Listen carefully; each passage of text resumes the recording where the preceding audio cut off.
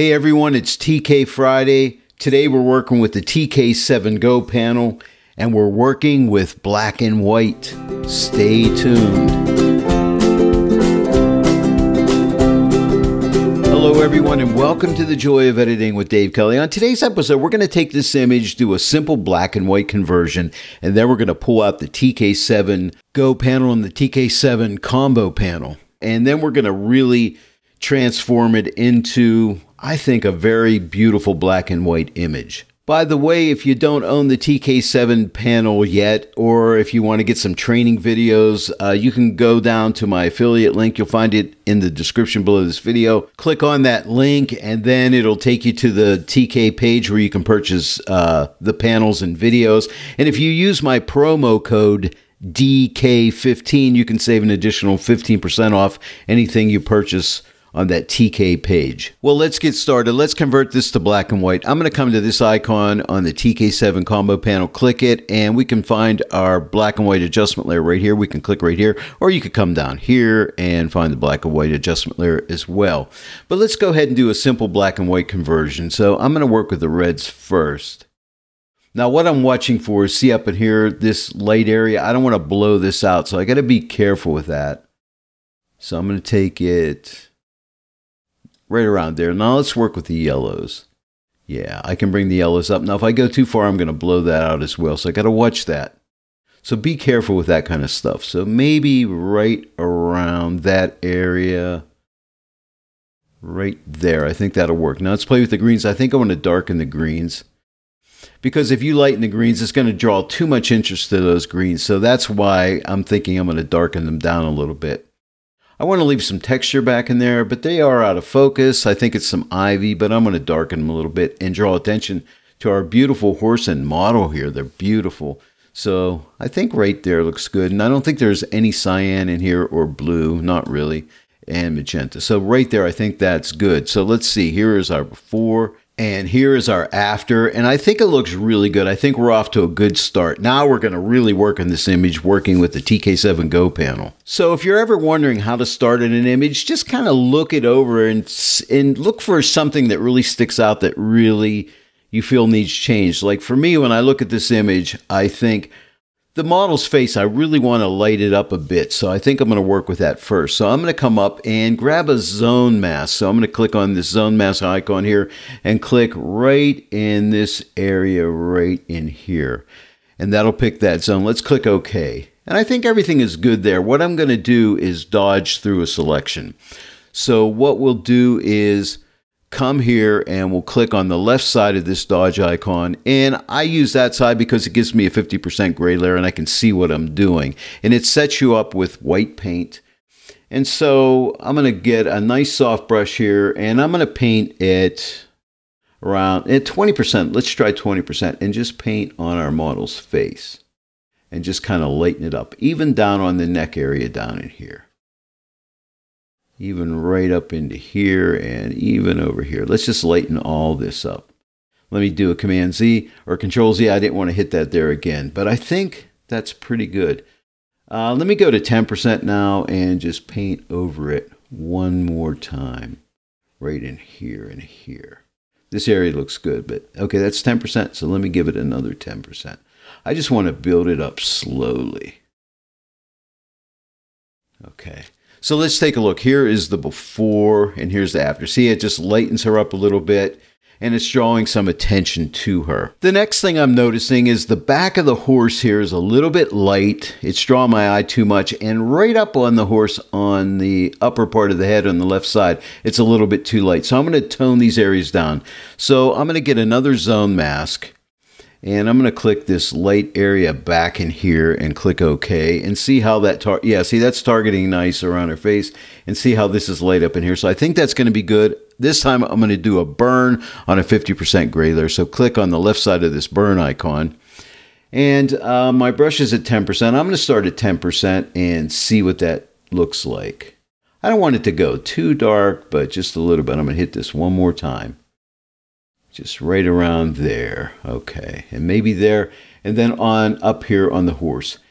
And again, this is kind of like that light sculpting thing, but we can just tone these areas down and just kind of work on this image and make it sing. This is what it's all about. We're creating in my in my opinion, when you're doing black and white, you are creating a nice artistic piece. So I think right there. So let's take a look. Here is the before and here is the after. So I think it's toning those areas down really well. I may hit this one more time back in here. And so here's a before and here's an after. Now I continue to really look at the image and the next thing I see where I have a problem area is this ivy back here. I still think it's a little too light so I want to darken it down a little bit. I'm going to work with zones again so let's grab another zone mask and I'm going to sample this lighter area back in here so I can tone it down a bit. Let's click OK and it's targeting that area really well. So I'm just going to leave it just the way it is and go ahead and put it on a burn 50% burn gray layer. This time I'm going to bump my opacity up. I'm going to start out at 30%. Let me see what that does. I'm going to stay away from this light area because I like it. Okay, so I'm going to do that. 30%, darken it up a bit. I can even come down in here. Okay, and let me hit this side. Just tone it down because I want to keep our attention away from it. I'm going to hit it a couple. Every time I lift my brush, by the way, and paint again, I'm putting another 30% down. So I'm like lifting it every time you see me, like here. I lift it, now I paint. Okay, let me come over here a couple more times and just darken this a little bit, like so. I think that's good. So let's take a look. Here is the before and here's the after. Now, if you option click this layer, we're painting through a selection. So let's option click it. And you can see how it's nicely targeting everything through that zone mask, okay? It's really nice. And again, here's the before and here's the after. So see how every now we're being drawn right into the horse and the model, which is really what we want. I'm continuing to study the image, and the next thing I think is I want this area back here a little light lighter because to me this is like an ethereal glow and it really adds to the overall image. So I just want to lighten that a little bit. So I'll use another zone mask and let's just sample some of this lighter area back in here, maybe right around that tone there. Click OK. And I'm just going to go with that. And again, let's put that on a dodge layer, 50% gray. And by the way, uh, the dodge layers are in an overlay blend mode and the burn layers are in a soft light blend mode, just in case you're wondering. And uh, let's see, I'm going to go with 10% because I want to build this up slowly. And if, so, if some of that gets onto the hair, that's okay. Because it, it can go slightly lighter. So just right in here, I just want to build up that ethereal glow just a little bit. Let's see, here is the before and here's the after before and after. So I like it. And don't forget, you always have this opacity adjustment. You can pull it back if it's too strong. Now I'm looking at this beautiful flowing dress here, and it's really pretty, but I'd like to bring it up in uh, lightness a little bit. I'd like to bring up that lighter tones a little bit. So let me go ahead and grab another zone mask, and I'll probably be pretty much using zone mask for all of this.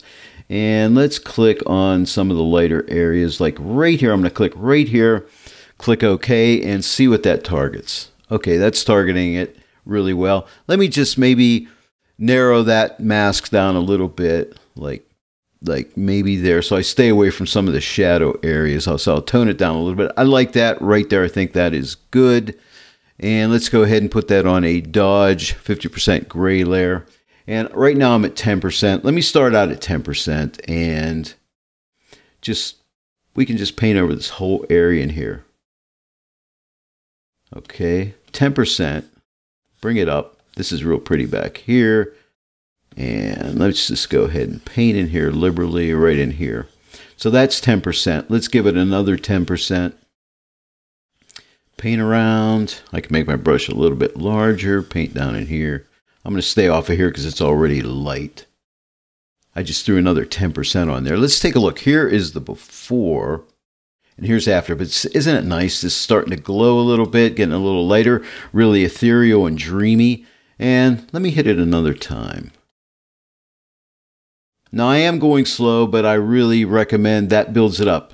I lifted my brush. I'm using a Wacom tablet and pen right here. So when I say brush, that's what I mean. You could use a mouse as well.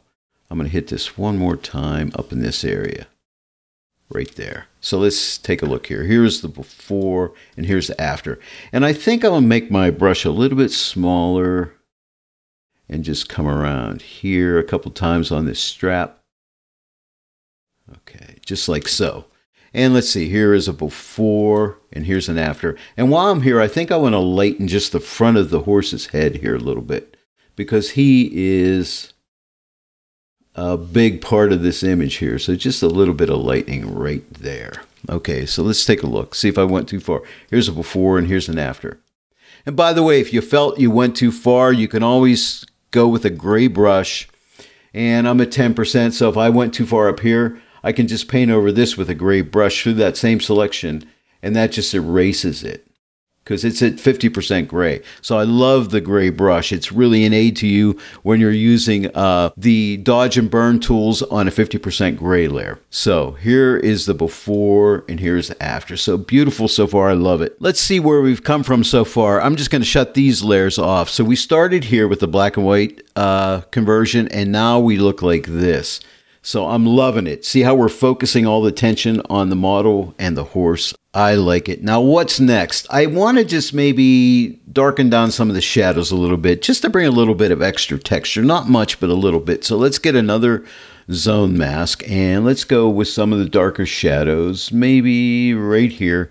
Click OK. And this time, I think I will narrow the range again a little bit. And that's too much. I'm losing some of the shadows there. See, the light areas are going to get darker. Okay. So I don't, I don't think I do want to narrow it. I think that's going to be good right there. Let's leave it there. And we're going to go, we're going to burn through 50% gray. But I think I'll bump uh, my opacity up to, let's try 30%. I'll make my brush a little smaller and just paint on some of these shadow areas. Okay. This may have been too too strong, so I'm going to do a Command or Control Z and just come back. I'm, I'm going to go down to 10%, I think. Hit that. Okay. I better be on the safe side. Now I'm just lifting my brush each time you see me paint here and give it another 10%. Okay.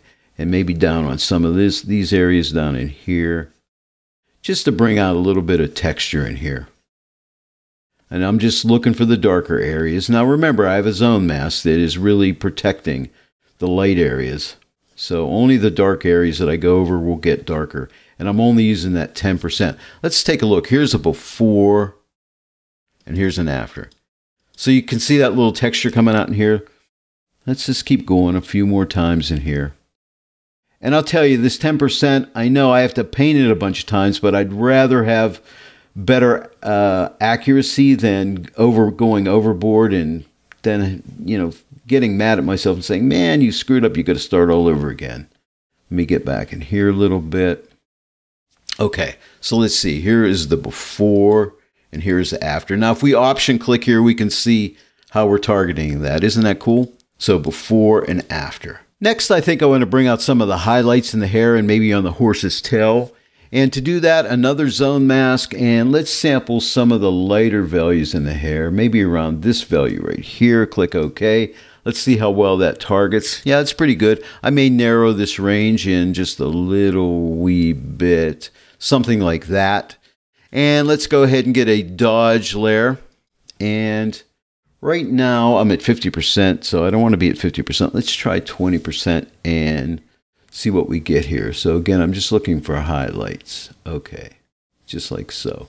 Highlights, just to, you know, add a little texture here and I don't know. I just think it's going to look really pretty to have some nice glow on these highlights.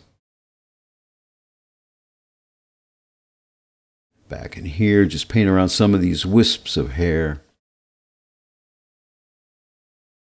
How about in here? Yeah, a little bit. And every time I lift my brush, remember I'm putting down another 20%. And I think it helps to go slow. Back in here a little bit. But be careful, don't overdo it. Take your time, enjoy this. It's all about crafting your image, and this should be fun. If it's not fun, hey, what good is it, right? Okay. I'm just getting a little artistic in here and just drawing my own little design in here. Okay.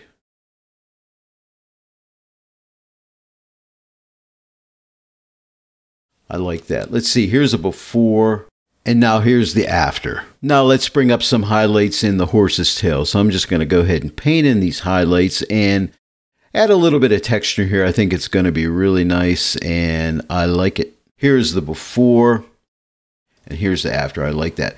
And I may tone this down a little bit in here. So I'm going to get a gray brush at about 10% and I'm just going to make my brush a little bit larger and just tone some of that area down that I got in there. Just a little wee bit. I went a little too strong. Here's a before and here's an after. So before and after. And let me see, just a couple little spots here. They're just a little bit too hot. That gray brush is your friend. It'll really help you out. So here's our before and here's our after. Think of the gray brush as your eraser tool. The next thing I want to do is add a little spotlight on our model's face and a little bit on the horse here. So what I'm going to do is get a lasso tool. I'm just typing L for the lasso tool. Draw a selection around the face here just like that. I'm going to hold my shift key down and draw another lasso tool around here. Maybe intersect these guys right like so. And now we're going to come to our TK actions and grab a spotlight. We're going to accept the radius just the way it is. Click OK.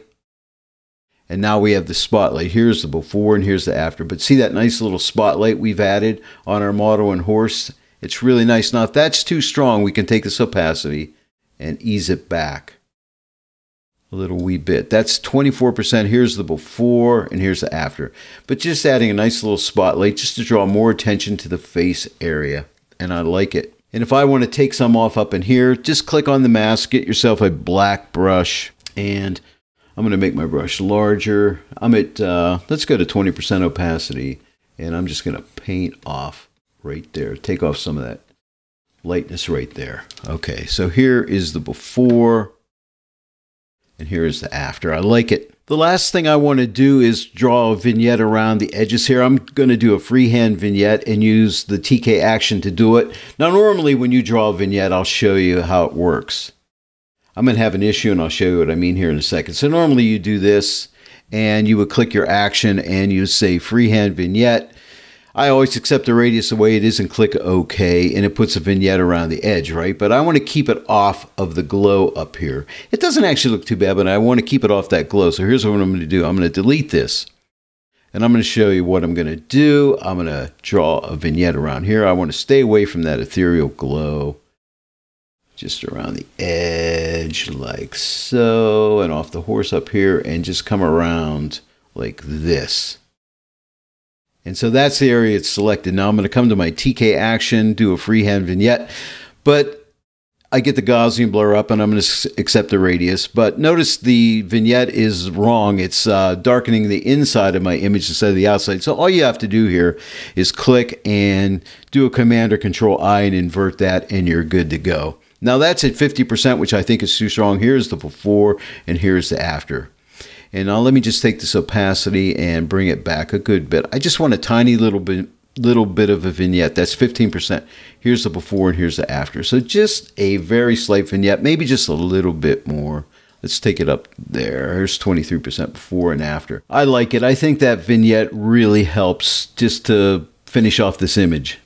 Now you may want to continue working on this image and do some other things, but I think this tutorial was long enough, but you get the idea. So we've come from here, which is our black and white conversion, and now we end up with this. And I think it really worked out nice. And we just used zone mask the whole way. So black and white photography and the TK7 Go panel are a match made in heaven, in my opinion.